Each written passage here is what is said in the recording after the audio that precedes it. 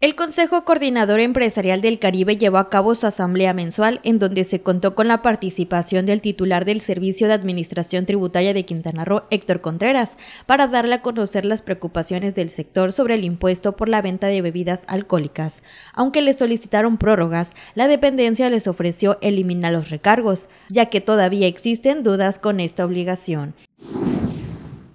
Pero en marzo ya se empezó a aplicar, ya hay alguno que puede tener recargos por no haberlo enterado. Entonces, eh, lo que se le pidió al, director, a Héctor, fue que, que si había la posibilidad de extender una prórroga de las obligaciones, para lo cual este, él lo manejó diferente, pero al final obtenemos el mismo resultado, que fue no, no, no es posible dar prórrogas porque ya está establecido desde cuándo está la obligación.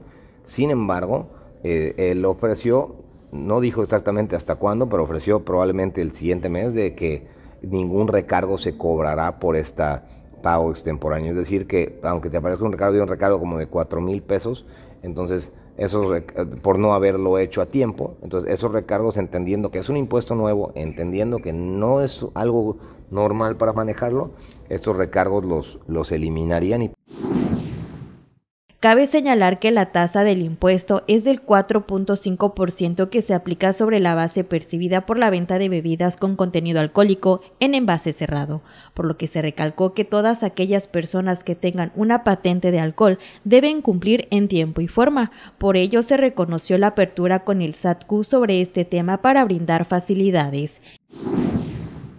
Es el 4.5% del, del del valor este, de la compra, ¿no? sin contar IVA, sin contar del, valor del producto.